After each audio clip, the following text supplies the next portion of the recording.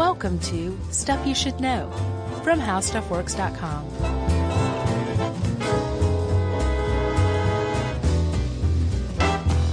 Hey, and welcome to the podcast. I'm Josh Clark, and there's Charles W. Chuck Bryant. And there's Jerry Smoking Rowland over there. She's just a cloud chaser. Is that what they call smokers? Dude, I looked up uh, terminology, vape terminology, Cloud chaser, really? because I, I wanted to punish myself. Uh, and that's apparently, I, I don't know. That's what this website says. That sounds like the kind of thing somebody who wears like a flannel shirt tied around their waist would call somebody who vapes. Yeah, oh no, these are vapors who, you know, puff fat clouds. You've seen those people Yeah. with just ridiculous amounts of smoke or not even smoke, whatever it is. I, who, whatever it is is the right the right thing to say, Chuck, because no one's quite sure. Yeah. So we're talking electronic cigarettes, e-cigarettes. If you go to the FDA website, they're called electronic nicotine delivery uh, systems. They don't, people don't even call them e-cigarettes anymore, do they? Or do they? I, I don't know. I felt so square researching this because it's such an ever evolving thing. Yeah. You have to be like right in the thick of it to know. I saw e-cigs a lot. Oh, really? Still today. Uh, well, in the, by the media? Well, yeah. Yeah. I bet, I think they just call it vaping. Right. Okay. So vapes. Or Vapors. V's. Va- vapors. Right. um, the, the you see it more and more Sure. these days. The kids, which is kind of a problem. Yeah. The kids seem to be enjoying this. Although I can't say anything because I was thinking about this. I'm like, gosh, teenagers are trying this, and I was like, I was 14 when I started smoking tobacco, Yeah. like every day for 20 years. like probably Marlboro Reds or something. Don't Yes, like- indeed, Marlboro Reds. Although when you're that young and you ride up on your bike to the convenience store to buy cigarettes, Yeah. you just kind of you'll take whatever you can get. Yeah. Um, But it, it does. It strikes me as absolutely nuts when now that I don't smoke anymore. The idea of like teenagers smoking, Mm-hmm. it's just weird. Yeah. Um, But some people kind of have this idea that it's wrong-headed to compare e-cigs or vapes. Who knows what they're called With our cigs. with with regular cigs Yeah. or non-vape cigs, right? Um, and that you could make a case that it's possible, it's fine that teenagers are doing this. Really, some might say, or at the very least, they might say, if you, if I had to choose a teenager smoking a, a an Right. e-cigarette or tobacco, I would always choose the e-cigarette. Yeah. And I think that's one of the main points that we're going to hammer home throughout this whole thing is that it is still sort of the wild, wild west. Yeah. And that's one of the big issues is that uh, no one really knows the deal a lot of times with what's in here, how it's reacting in the body. Yeah, what uh the who, who the manufacturers I mean it's all just we're all just kind of guessing right now. For sure, for a couple of reasons. One, they're so new. But two, uh, here in the United States, it wasn't until 2016 that the FDA gained regulatory control over these things. Yeah. Before it was like uh, they could put anything into the e juice. Who knows what it's actually called? Um, that you're smoking, and you would have no idea what's in there. There, there was no regulation whatsoever until 2016. Yeah. So yeah, it is like you said, the Wild Wild West. Still, they're still figuring this out, and depending on what country you're in, um, they're either a great way to to quit smoking tobacco or to smoke instead of smoking tobacco. Yeah. Or they're just as bad as cigarettes, if not worse in some respects. Yeah, or they're a gateway Mm-hmm. to a kid who may not have even started smoking cigarettes, Yeah. But tried this because it tastes like peaches and cream, Right. and then they get hooked on the nicotine. I rem- I remember I remember when Joe Camel came out in the '90s. Oh yeah. and they were like, uh, "You can't have this cartoon camel hawking cigarettes because you're clearly targeting kids." Yeah. Well, at least he never had peaches and cream flavor. Which, by the way, I was looking at um, ingredients in tobacco because now in the United States, Mm-hmm. cigarette companies have to list the ingredients on their on their websites at Yeah. least. Because that's what all smokers do is go to the website to see what they're smoking. What's in this? Let me see. Um, high fructose corn syrup is in cigarettes. That doesn't surprise me. It, it doesn't if you stop and think about it, but if you stop one more time and think about it, you're like, that stuff is everywhere. Yeah. So e-cigs. Yeah, they were invented by a pharmacist in China named Hon Lik, who I believe his father died of lung cancer from smoking. That's what I saw. And I don't know if that was the impetus to create this or not, but uh, he did patent the device in 2003. And as soon as I read that, I was like, man, I bet this guy is a gazillionaire. You want to hear something very surprising? What? He is not the first person to patent an e-cigarette. Well, and he's all, he also, I mean, I'm not sure how much his net worth is, but he's still currently kind of battling for rights to make money Oh, yeah. and stuff. Wild Wild West. Wild Wild West. So back in the 60s, the mid 60s, a man named Herbert A. Gilbert, which is that's a 1960s inventor's name if I've ever heard one. Yeah. He patented something that is basically an e-cigarette. Mm-hmm. And then apparently even further back than that in the 1920s someone patented a vaporizer pen, not Really? necessarily for cigarette But they were human spirit vapors. Right. It's my grandmother's soul. Uh, uh, here's the deal. We haven't even said what it is yet. Um, I figured everyone knows because it seems to be, uh, they're ubiquitous these days. Yeah. But, um, an e-cigarette is, it's a, it's a battery powered device. Usually looks, sometimes it can look like a cigarette Right. that even lights up on the end, but I don't see a lot of those anymore. No, it's kind of an early thing. I think so, and um, just to make you feel more like you were smoking. But now they um, just look like little pins with a cartridge, and it converts that liquid nicotine into a vapor that you inhale. So you're not actually burning nicotine. No. There's no smoke, even though it looks like smoke. That's I don't even know what you call it. Vapor. It's vapor for sure. exhalation. Dep- it, depending on what's in the stuff that you're smo- you're inhaling or vaporizing, Fat clouds. fat clouds, right? um, but yeah, that's it. You you hit the nail on the head. It the combustion isn't involved. Right. Those little coils in there that get heated up by the battery Yeah. bring the vapor or the liquid up to its boiling point, converting it to vapor, and then that's what you inhale. And since there's no combustion, uh, you're not getting all the extra stuff that you get when you smoke tobacco, like tar. Well, there is no tobacco in here. There isn't, and that's a really big point. That even in articles about the difference between tobacco and e-cigarettes, they they call this stuff interchangeably, like Yeah. like tobacco. These are not tobacco. Tobacco is a plant that contains nicotine Mm-hmm. that we have learned over the centuries to smoke Or chew. as a delivery system. Yeah, Yeah. as a delivery system for that nicotine. The problem is, is there's a lot of other stuff, bad stuff that come from inhaling that tobacco. It's not necessarily the nicotine itself, although it is a highly addictive drug when inhaled. Yeah. The point of e-cigarettes, at least one of the points is, is that you can still get that nicotine Right. without the tobacco. It's separated from the tobacco, put in this other solution uh, that you heat up without combustion and inhale, and then uh, birds just kind of chirp around your head, and you're suddenly dressed like Snow White. And you say, "What was in that e-juice?" Or is it, and we'll talk about all this, this is, I'm just teasing ahead, but is it, is nicotine even bad for you if you're not burning it from tobacco? Is nicotine itself? Yes. Cause that one dude, uh, I think from the seventies, uh, in one of these articles you sent said, you know, people, people come for nicotine, but they die from tar. Yeah, Michael Russell. He was a South African scientist who basically was the guy who changed the way we viewed cigarettes. Like up to that point, it was a uh, psychological habit smoking was, and he Right. said, no, actually, we're addicted to nicotine, um, and it's a it's a physiological addiction. Yes, so that you've heard that like, um, and that came from. There's this really great article if not a little one-sided, um, in Rolling Stone Yeah. from 2013 by David Amsden.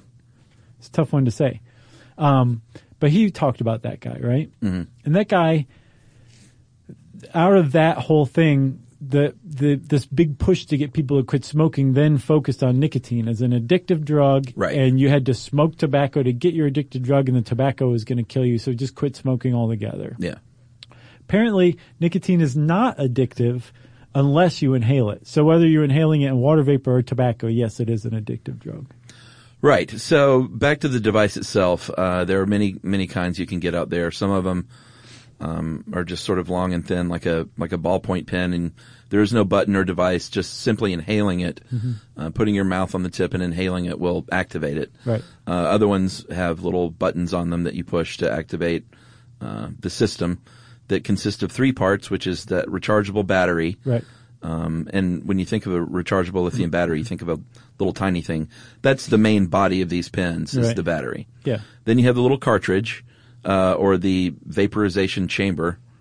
No, no, sorry, those are two different things. Vaporization chamber is where uh, the party takes place, and it and the cartridge is where the liquid is stored. Right.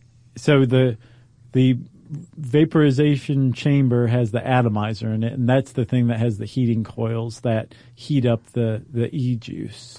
Yeah, the heating coils, which I just saw this today, they might be a problem as well. I saw that as well. And that's part of the Wild Wild West thing. They're testing like the juice, the juice, the jus, right.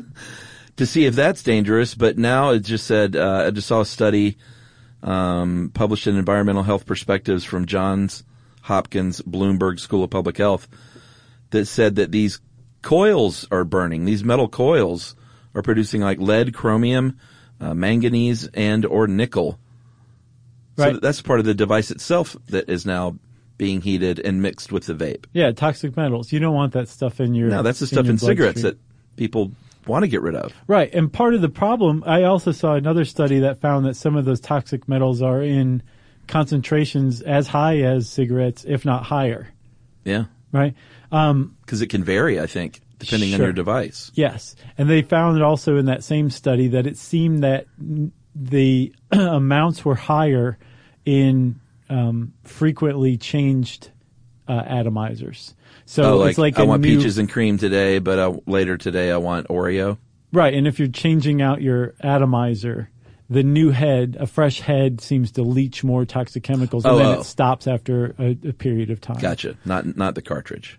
No, not the cartridge, the atomizer Yeah. with the coils, right? Yeah, that makes sense. So yeah, so you don't want that stuff. Part of the part of the reason you're inhaling nicotine is because it delivers it right to your brain basically from your lungs.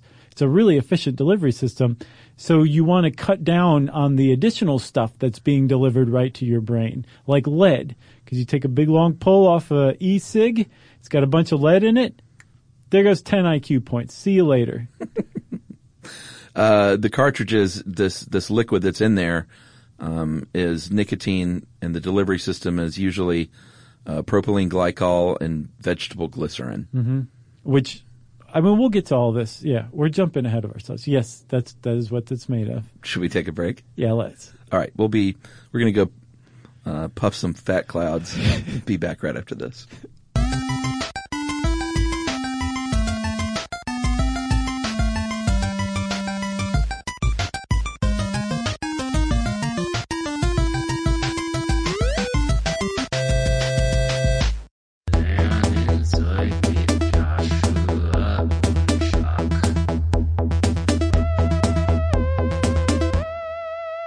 So is that really what some people call it? Fat clouds? I've seen people make fun of people by saying that, Okay, so I think it has been said. all right.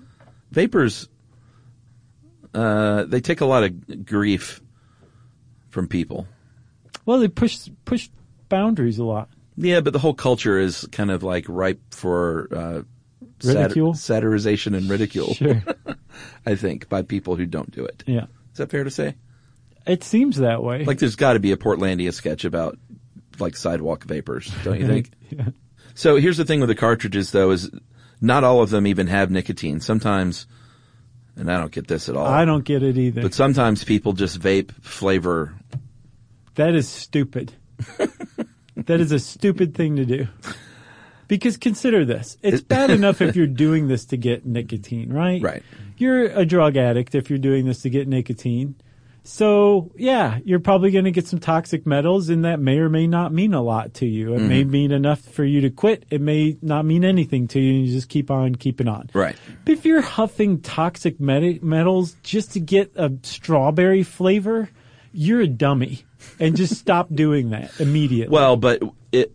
What if that is what you do in place of this bad smoking habit you had? well, then you should learn more about what you're inhaling eh, because you're probably not you're not smoking the nicotine because of you're worried what it's going to do to your health. So just stop altogether. Go get some dum dum lollipops, dum dum. Well, no, I mean that that's clearly, and there are some studies that uh, we'll get to later that pretty recent ones that have tested people who smoke and vape because that's sort of one of the problems is sometimes people do both. Yeah. Uh, because they want to get that nicotine hit, but they're at a party where you can't smoke or whatever. Right. That's like the worst case scenario with Uh, That you're doing both? Yeah, that you're using it to smoke more frequently. Right. Because you're smoking in, in places where you can't normally smoke tobacco. Right. So, uh, like I said, we'll get to that test, but they've tested people who do both, people who do one, and people who do none. And of course, doing nothing is the best case scenario. Yeah, and I want to go back a couple of steps. I don't mean to be all holier than thou. I certainly don't think I'm any better than anybody who smokes just because I quit. With the benefit of hindsight, now that I don't smoke, Yeah. uh, I, I, it's tough not to just be like, stop smoking. Yeah. You're going to thank yourself. I, hear know you. you want to. There are very few smokers out there who are dyed in the wool cigarette smokers who are like, man, I love smoking still 20 years on. They probably want to quit, which is the sad thing. Yeah. So I'm sorry, everybody, if I came off as holier than that. Uh, it says in here, and I don't know how accurate this still is, but it says the cartridges last about as long as a pack of cigarettes. I don't know if that's still accurate because there are so many different kinds of tanks and cartridges you can get these days. I think it generally does though, because they, Really? they yeah, and they sell them at a certain price point, and I think it's comparable depending on where you live to a pack of cigarettes, like a a pack of New York twelve dollar cigarettes, I think. But that's if you buy the cartridges, use them up, and then buy another cartridge. Right. You can also buy a, a vaporizer that has a refillable cartridge Yeah. that always stays on, and you just refill it yourself because you're a thrifty person. yeah, that, that'd be like, uh, I guess kind of like rolling your own cigarettes. It would be. You probably get a little more bang for your buck there, right? You definitely do, but you know, And you look cool. Do, do you? No, I don't know. You look European. It's a pain though. I I mean, I went through a cigarette rolling phase, but Yeah, it's me too. like you want a cigarette right then. Man, I gotta wait forty five seconds until I get this thing just right. And oh, I just ripped the paper. Now I have to start over. Just screw a cigarette. Yeah, when I was young and dumb. See, I wasn't a, a smoker smoker. Yeah, I would just smoke occasionally, which always bugs smokers. yeah. Um, and when I did my big Europe trip fresh out of college, I just thought it was the coolest thing to, you know, roll up my drum cigarettes. Drum, okay. Walking around in Paris, you know. Yeah, check me out, Frenchies. What a dum dum. Again. Did you have a beret on at least? Um, no, I smoked that too. That's what you used to roll. I had it on day one, but I smoked it. Nice. Um, all right, so we might as well get into some of these um, health studies and concerns. Um, like we said over and over, one of the big problems is we don't know, uh, certainly don't know about long term health effects, No, it's too it's too new. and are just learning about some of the short term effects. Well, the thing is, is it, we it's too new to know about e-cigarettes specifically. But from these early tests that are coming back, um, we know a lot about some of the chemicals that are showing up in these tests, and some of them are like, "Whoa, Nelly, you do not want that in your brain." Right. Um, there's one in particular. Some of these you can just tell from the names of them. They're just terrible. But um, acrylonitrile, I believe it's acrylonitrile. It is, uh, yeah, I think I nailed it even without even looking at it. It is a uh, a very toxic poison that's used in the creation of um, acrylic fibers. I think maybe even some rubber. Yeah. Um, it's it's a it's a plastic. It's a Sounds like pliable something you want to burn and inhale. Yeah, well, the problem is, is um, it is metabolized in your body into cyanide. So that's just one example of some of the stuff they're finding in the bloodstream of people who smoke e-cigarettes. And again, it's too soon to say what kind of effects these are having, but these chemicals have been documented for so many decades now that when they pop up, we can say basically automatically that's you shouldn't be doing that to yeah, yourself. and I think part of the big problem is the regulatory issues. Like it, it's finally under the FDA's wing, right? As of 2016, yeah. But they're still so new that they're not even making official statements yet, are they? Or are they? So here's the thing. This is this is a very bizarre thing, Chuck. They're um, they now regulate these things like tobacco, but it's not tobacco. In the U.S. Yes. So if you have, if you buy a, a vape pen or vapor cartridge or something like that, Uh-huh. and it has nicotine in it, it's to the FDA. You're buying a pack of cigarettes. To an e-cig user, that would drive you crazy because Right. you might be smoking e-cigarettes because you don't smoke tobacco because tobacco is something that's very, very, very bad for you. Right. Supposedly e-cigarettes are a, a better alternative to that. To the FDA, they're the exact same thing. Right. And to an e-cigarette, I mean, I get their complaint because they can say, listen, you can buy nicotine patches and nicotine gum and it doesn't have health warnings on there. Mm-hmm. Right. And that's all we're doing is ingesting nicotine. We're not burning tobacco, just like someone who chews nicotine gum isn't burning tobacco. Right. So why? It's, it's because they look like cigarettes. Right. And you puff fat clouds. Yeah, and that's a that's a thing that David Amsden says in this is that that's really the big distinction. Like if you're using it to quit smoking, it's the same thing as nicotine gum, and you can just go buy that over the counter, right? Uh, with no warnings on the box at all.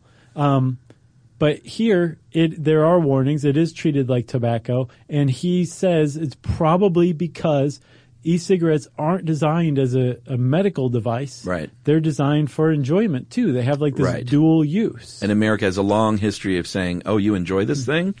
Well, let's try and squash that. right, exactly. Yeah, but what's like the big deal to them though? Really? I think okay, so If it's regulated like tobacco, like what? It's not keeping them from smoking. Oh, to e-cigarette users. Well, yeah, I mean, it doesn't prevent them from doing anything. What is it? Because you have to be 18 or something? I don't know. I think there seems to be a bit of a culture war going on with um, between e-cigarette users and manufacturers too, and the anti-tobacco warriors that were very successful. Um, get this from the '60s to today. There was a drop from like I think 40% of Americans smoked in like 1965. 18% smoke as of like 2015 or 16. It's pretty amazing. It's a great drop. In numbers, it's actually not that big of a drop because the population kept growing. Sure. So it was really just an 8 million American drop. Mm-hmm. But it shows this social trend of people saying, we don't smoke anymore. Smoking's for losers, right? Yeah. So um, that was the that was the result of years, decades Mm-hmm. of government PSAs and the American Cancer Society and the American Heart Association and the Lung Association all getting together and just pumping, drumming it into the heads of Americans that smoking is stupid. It's a betrayal to your family. It's a waste of money. You're killing yourself. You're you're affecting like the insurance industry. You're you're crippling America with your stupid habit. And it worked. Now, if e-cigarettes are okay, they they have to walk that back some. And the people who are who are still trying to get America to be like totally smoke free are like, we're not about to do that. But they don't though. That's that's that confusion between burning tobacco and ingesting nicotine like you would gum. Right. You know, because it's a stigma because it looks like a cigarette. Partially, but also remember that um, nicotine is most addictive when it's inhaled. When you chew it as a gum or get it through a patch, Yeah. it's supposedly not addictive at all. Well. It's only when you inhale it that it's addictive. So they're also saying like this is a drug, and people are doing drugs, Right. so it should be regulated. But then other people say, well, caffeine's a drug. Why don't Right. we regulate that? Yeah. And Starbucks is like, shut your mouth. Should we take another break? sure. All right, we'll come back and we'll talk about um, that Rolling Stone article and a very interesting study from uh, a few years ago. Right after this.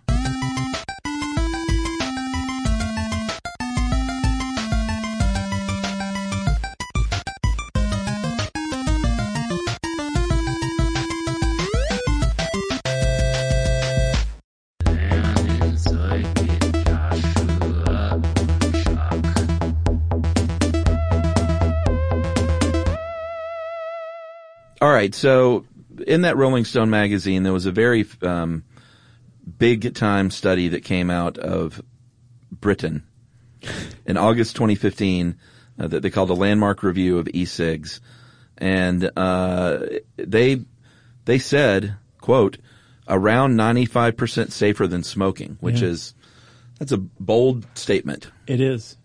And I went and looked today to see how much that's changed. They have doubled and tripled down on that number. If you go onto the the um, UK's government health service, the NHS site, Yeah. they say it's about 95% safer than smoking still. I saw a 97% somewhere. And this is like the Royal College of Surgeons saying this. So it's very much touted as a, an alternative tobacco to tobacco, a safer alternative to tobacco. So here's the deal, though. It seems like people in this article, even that um, take issue with the 95% number, say it may not be 95%, but it's it is certainly better than burning tar into your lungs. Well, yeah, and those are the Americans, though. The Americans are saying, like, we're never going to say it's 95% safer. Yeah. But apparently, most public health people in America say it's almost certainly safer than, than cigarettes. Like you said, just that combustion alone creates some really bad stuff that you're not going to get from vapor right. just because there's no combustion. So Right. just just by that alone would make e-cigarettes safer than than tobacco. But the question is is I think a lot of people have this idea that oh, well, I can just totally like vape to my heart's content. Right. It's healthy even like it's like huffing vitamin C or something like that. that doesn't seem to be the case from recent research. Yeah, and it says too here that, um, and this may be because of the the American propaganda machine, but said uh, 84% of smokers believed e-cigs were safer in 2010, and just three years later, that dropped to 63%. Yeah, and there was another stat. I think I don't know if it was in that or another article, but they said that something like a third of former e-cig smokers said they went back to tobacco because they were worried about the Oh, health really? dangers of e-cigarettes. now that's a problem. Yeah. And there's a there's That's ridiculous. The people who are saying like, no, e-cigs are safer than tobacco, and what you're talking about at base are nicotine addicts. Right. So tout this this nicotine delivery system over this nicotine delivery system if it's even a little healthier, Right. you know? Uh, and and America's saying absolutely not. We're not doing that. In our eyes, they're one and the same: tobacco and e-cigarettes. Hmm. So some people are saying, "Well, there's blood on your hands. The blood of 480,000 Americans who die from Right. smoking every year Yeah. from smoking tobacco." Right. That's the, that's the stakes to all this. Uh, but nicotine itself, and this is in that Rolling Stone article too, is super interesting. Did we do one on nicotine or just? I know we did quite a few on smoking We do one on caffeine. Back in the day. Yeah. But nicotine is interesting in that it is uh, apparently if it's not in if it's not smoked and if you remove it from that cigarette, then it's fairly benign as a substance itself. Right. Although addictive uh, as far as what it does to the body. But the weird thing is is that it it doesn't do the same thing. Like it it's sort of like this little magic and that's why people smoke probably. This little magic thing. If you're if you need to feel up and your body wants to feel up, a cigarette can make you feel up. Right. But if you want to chill out and relax, it can also do that. Right. So it has some pharmacological, um, Magic. yeah, to it, which makes it useful, but it's also, again, as that article is pointing out, it's been stigmatized ever since the 70s and that change in paradigm of what smoking is Yeah. came about and nicotine got targeted. So let's talk about some of these, some of the things that have been found, because one of the one of the big problems, also a, a big objection to just allowing um, e-cigarettes smoked anywhere, people vaping wherever they want, is that one we don't know very much about it, but two, if we say, okay, maybe smoking's not so bad if you're not actually smoking, you're just vaping, Right. maybe that's not such a bad thing. Maybe it is on par with like drinking or, or coffee or whatever. Um, and teens start to take this up. And they are. They are. Um, the problem is, is a lot of people say, well, okay, we're turning our teens into nicotine addicts. I have a problem with that. But what if this whole vaping thing goes away and we've got all these teenage nicotine addicts? Do you really think they're not going to just start smoking cigarettes af- after that? Right. Or just do that anyway. Right. Apparently, that's not necessarily happening. That teens who are, I feel like such an old guy saying the word teens. Try, try saying tweens. Tweens. I Feel really old. Oh, that feels terrible. uh, that teens and tweens, Yeah. that when they are um, trying this, they're trying it. Most of them are deciding it's not for them, and they're not going on to tobacco. Actually, Well, you're right because they did a study. The CDC did one that e-cig use had tripled in the past year among middle and high school students. But then you poke into the study, and it doesn't differentiate at all between someone who just tried it once, Right. uh, waiting for the school bus, and a kid who really took it up. Right. So they're. It's so funny that after or depressing that after all these years, there's still such bad studies. Well, bad reporting Well, that too. on the studies. It, I saw that the CDC says that e-cigarette smoking is down 2015 to 2016.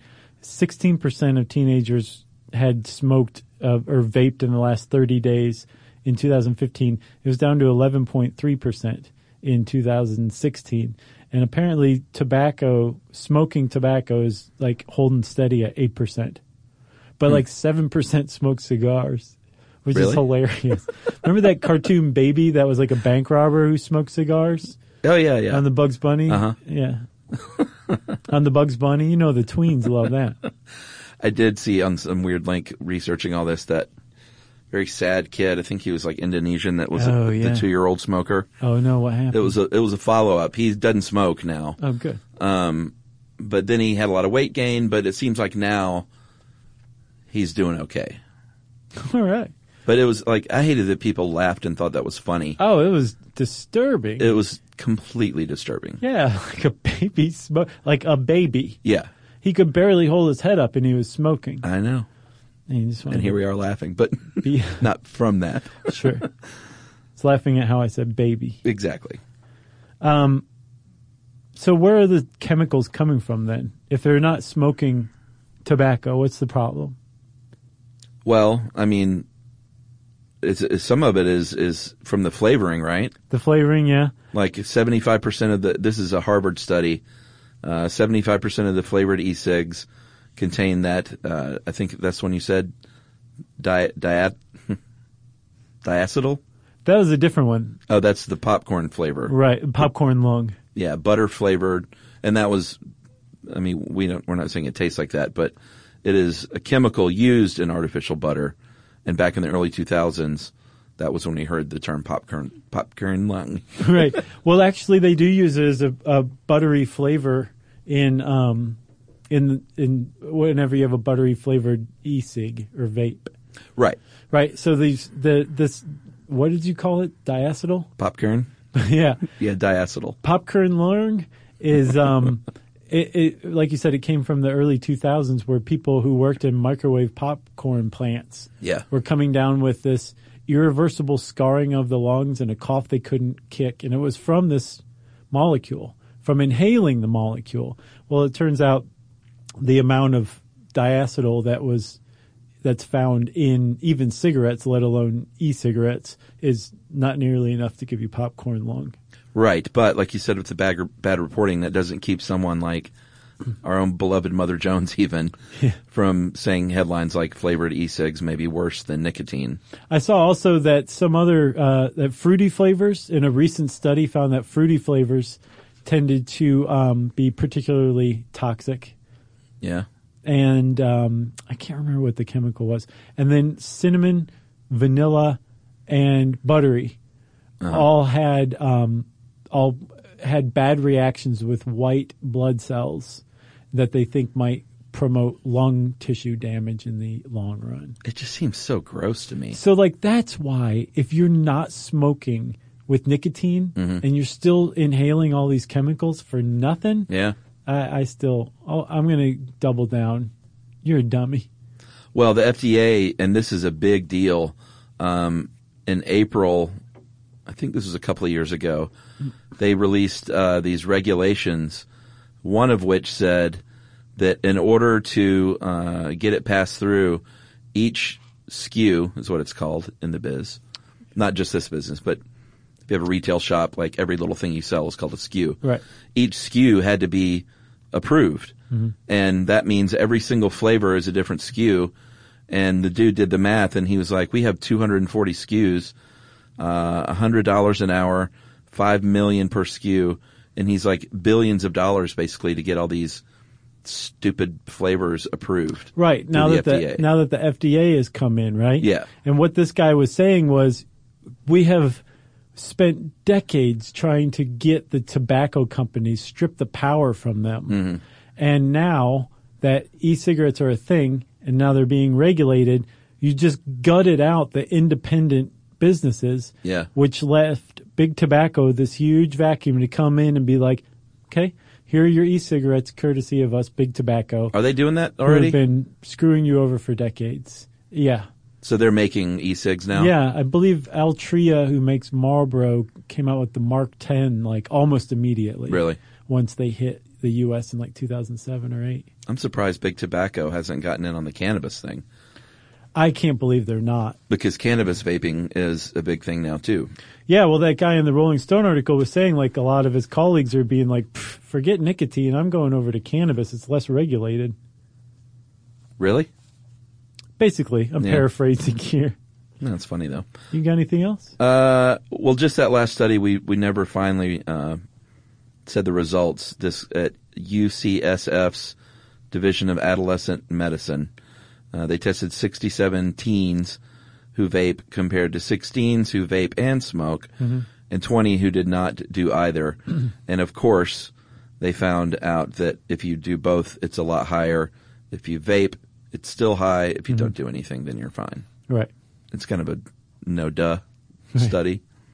apparently also some of the um, w- depending on what chemicals like formaldehyde can really come out of the flavorings or the um, vegetable glycerin um, or the propylene glycol i think. Yeah. or reactions between these things but it's also very temperature dependent. That at higher temperatures they can com- they can create some really toxic stuff but at lower temperatures you can inhale the same stuff and the the um, those chemicals are not created. But if you're blowing fat clouds you're probably at a higher temperature Mm-hmm. Is that what? Is that how they do that? yeah so you are uh, probably getting the worst of the worst chemicals that your cartridge has to offer Yeah, I think a lot of those pens, you, know, you can vary the temp depending on what you want to get out of it. right for yeah after like a certain price point i would guess Yeah. And then lastly, one other thing. That whole jazz about how you're just exhaling water vapor, that is almost certainly not the case. So you're exhaling some of those chemicals. Yep. Right into your cubicle neighbor's face. I mean, at the very least, like it's not like oh, we should be able to do this in movie theaters and restaurants because it's not smoke. Right. It's still obnoxious. Sure. You look like a dope. Yeah. With that flannel tied around your waist. Boy, we're gonna hear from vapors. They're gonna be mad. Uh, if you want to know more about vaping, read about this. Don't go take it up. That was another problem that people were saying is like they're, if it's touted as like harmless or whatever, people might be like, well, I was putting off smoking because I didn't want to die, but maybe I'll try this vaping thing. Right. Don't do that. Just go read about it, figure out what you think about it, and then don't vape or smoke, says I. And in the meantime, it's time for listener mail. I'm gonna call this uh, Sea Monkey follow up. Oh yeah, good. We love that episode. That was a great one. Uh, hey guys, just listen to Sea Monkeys. As a young reporter with a local newspaper, I interviewed Yolanda at her home in uh, Bryans Road, Maryland. That was the widow of the inventor of sea monkeys. Right. Uh, she wrote a children's book, and I was doing a story about it. It was about animals, by the way, not sea monkeys. I remember her giving me a giant bottle of Evian water and the best vegan pumpkin chocolate chip cookies ever. That sounds good. She was a devoted animal lover and one of those people who would feed wildlife and deer that wandered onto her property, uh, leading them to overrun the surrounding neighborhood. she also filled me in on the Sea Monkey saga and gave me a T-shirt and other Sea Monkey merchandise. I gave the Sea Monkeys and Tank to my friend who kept them alive on her office desk for years. Uh, there are always rumors about uh, von Braunhut having a Nazi flag displayed uh, on their house, but he was long dead by the time I met Yolanda. House was shabby, but the rooms I had I saw had a comfortable vibe. uh, shabby comfy. and she was very kind to me, and you couldn't help but feel sorry for her. I love the podcast, Sarah. Thanks a lot, Sarah. That's pretty good. I love follow ups like that, Uh huh. where it's like, hey, this thing you talked about, here's an extra little peek that you didn't know. That's right. Peek.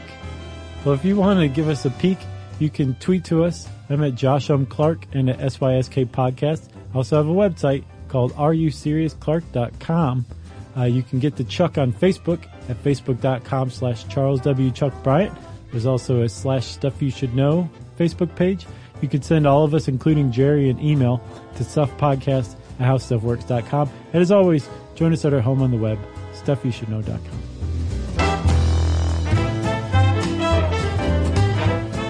For more on this and thousands of other topics, visit howstuffworks.com.